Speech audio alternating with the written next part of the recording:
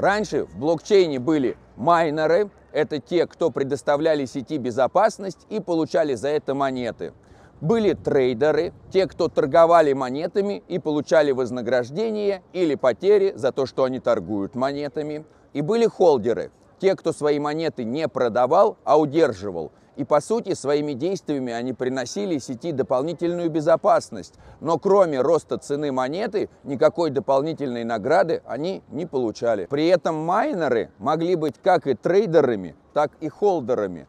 То есть майнеры получали новые монеты за предоставление сети безопасности, и они могли либо торговать этими монетами, либо удерживать эти монеты. С развитием блокчейнов майнеры сменились на валидаторов – Валидаторы приносят сети безопасность, за что получают награду в эмиссии новых монет. Трейдеры тоже никуда не пропали. Они как торговали монетами, так и продолжают ими торговать. А холдеры стали не просто удерживать монеты, а стали делегировать их валидаторам. Холдеры стали стейкерами – то есть они также продолжили удерживать свои монеты, но теперь они начали получать награждение за то, что они удерживают монеты и предоставляют сети дополнительную безопасность. И быть стейкером или делегатором – это намного более интересно, чем быть холдером – потому что стейкеры не просто удерживают монеты, не только получают награждение за предоставление сети дополнительной безопасности, но также они принимают участие в управлении сетью. И по своей сути, что делегатор, что валидатор обладают абсолютно равными правами внутри сети. И если с трейдерами и так все понятно, то давайте по порядку разберемся, кто такой валидатор и кто такой делегатор. Начнем с того, что есть валидатор машина и валидатор человек. Валидатор машина – это компьютер с жестким диском, с оперативной памятью, который находится в связи с другими компьютерами, и они все совместно хранят информацию и производят необходимые вычисления. А валидатор человек следит за валидатором машиной, то есть он содержит инфраструктуру. Валидатор человек следит как за физическим состоянием валидатора машины, так и следит за установкой нового программного обеспечения. Кроме всего прочего, валидатор человек принимает какие-либо решения, которые невозможно прописать в коде. То есть внутри блокчейна есть консенсус, и этот консенсус можно разделить на два вида. Консенсус между машинами – который стопроцентный и обеспечивается кодом, и консенсус между людьми, который в коде прописать нельзя. Это договоренности между людьми о том, как сеть будет развиваться дальше. И вот этот процесс прихода к консенсусу между людьми мы называем управлением сетью. Управление сетью происходит при помощи создания предложений, а после голосованием за эти предложения. Но не только валидатор может участвовать в процессе управления сети, то есть создание и принятие предложений. Делегатор точно так же может участвовать в управлении сетью и также создавать предложения и также голосовать за эти предложения. То есть весь процесс выглядит приблизительно так. Валидатор содержит инфраструктуру для сети, у него есть какое-то количество монет, которые он удерживает и не продает, чем приносит дополнительную безопасность сети, а сеть выплачивает валидатору за предоставление безопасности награду, то есть новая эмиссия монет отправляется валидатору.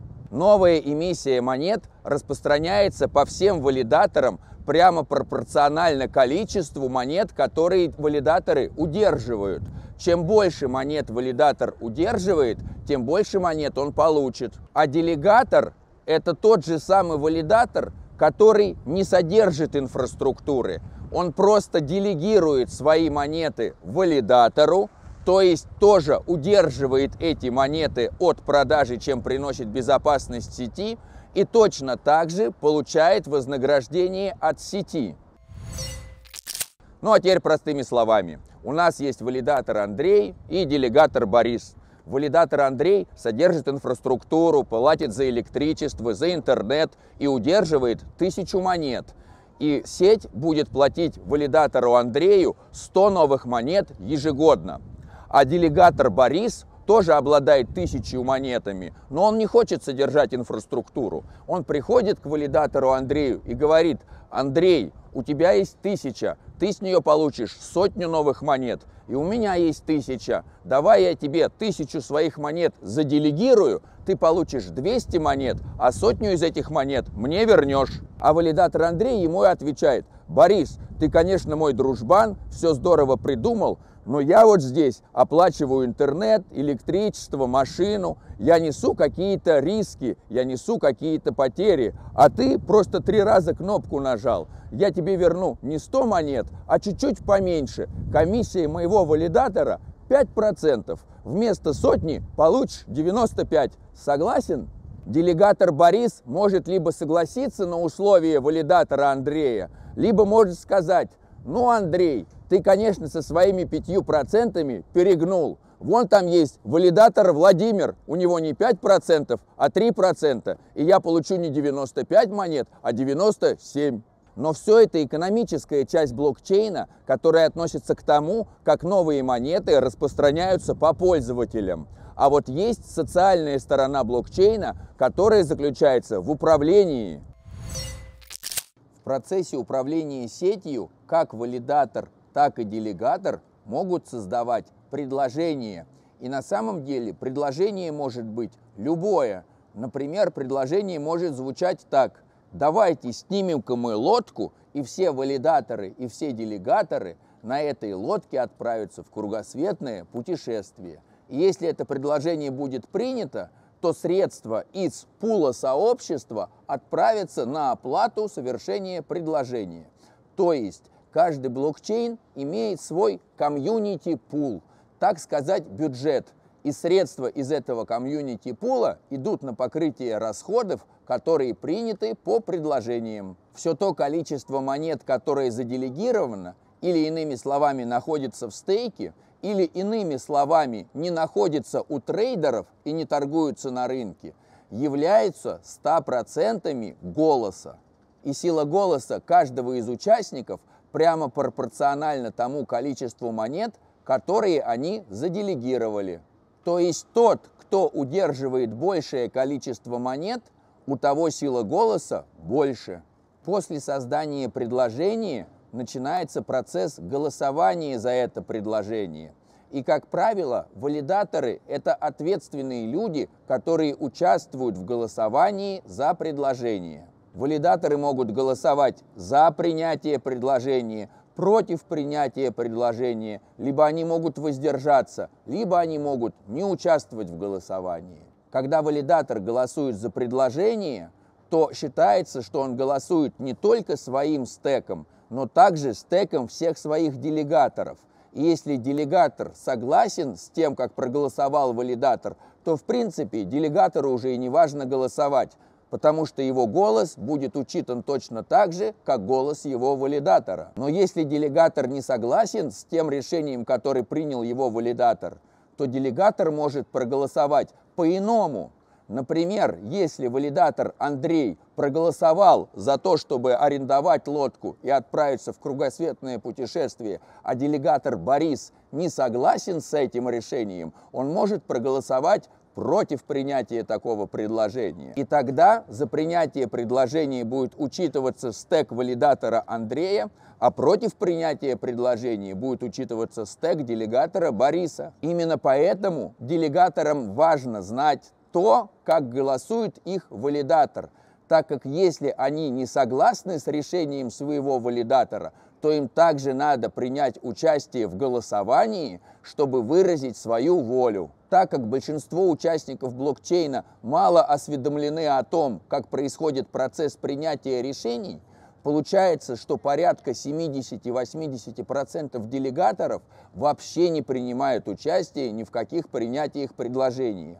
То есть получается, что за них голосуют их валидаторы. Более того, не все делегаторы осведомлены о том, что они точно так же могут создавать предложения и принимать участие в обсуждении этих предложений, принятии или отклонении этих предложений. И третий момент, который достаточно важный, это то, что не все валидаторы ответственно относятся к принятию предложений внутри сети – Некоторые валидаторы не участвуют в голосованиях, а это значит, что не участвуют в голосованиях не только эти валидаторы, но также и их делегаторы. С другой стороны, если валидатор не принимает участие в голосовании, а его делегатор принимает участие в голосовании, то система все равно учитывает то, что делегатор волей заявился.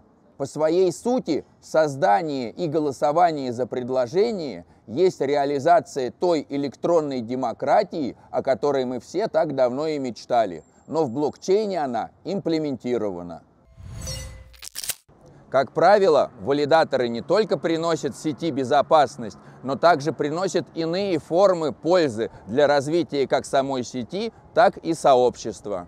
И пускай иногда делегаторам кажется, что самое выгодное – это заделегировать свои средства валидатору с минимальной комиссией, на самом деле намного выгоднее делегировать средства тому валидатору, который приносит больше всего пользы сети и сообществу. Например, есть валидатор Андрей – и у валидатора Андрея нулевая комиссия. Это значит, что валидатор Андрей не возьмет с делегатора Бориса никаких средств за то, что Борис заделегировал средства валидатору Андрею. То есть, как было в нашем примере, если у валидатора Андрея есть тысяча монет, и он получит от сети 100 монет, а у делегатора Бориса есть тысяча монет, которые он заделегировал валидатору Андрею, то он точно также получит 100 монет. И, например, есть валидатор Валентина. Валидатор Валентина занимается помощью сообществу. Она пишет программный код, создает полезные тулзы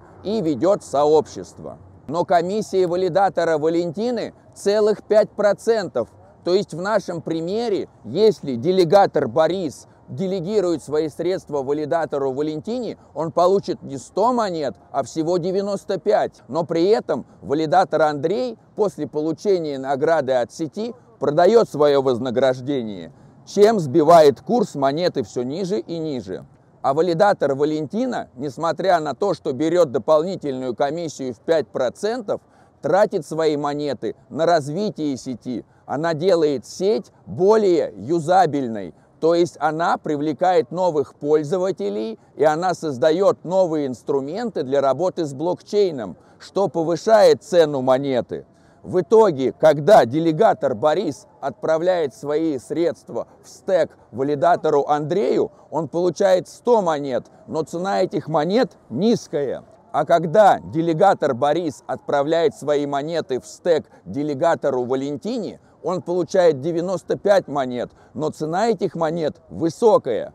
Поэтому не стоит думать то, что чем меньше комиссия валидатора, тем больше вы получите. Вы получаете больше тогда, когда вы делегируете валидатору, который приносит пользу как сети, так и сообществу. Но самое интересное, то, что создатели проекта периодически мотивируют делегаторов принимать участие в процессе голосования. Например, Osmosis при совершении своего stakedrop а раздавал не только OSMO, но и монету Айон. И монета Айон досталась именно тем делегаторам, которые принимали участие в голосовании. Так что, принимая участие в голосовании, вы не только влияете на судьбу развития сети, но также, возможно, получаете какие-то бонусы в будущем. Ну и как всем, наверное, понятно, здесь на канале Forklog также происходит некоторое голосование за видео. И когда вы ставите лайк, вы тем самым поддерживаете видео. Так что ставьте лайк, подписывайтесь на канал Forklog – а самое главное, оставьте свой комментарий, принимаете ли вы участие в голосованиях или не принимаете. Желаю вам приятного стейкинга, а я пойду заделегирую валидатору Валентине.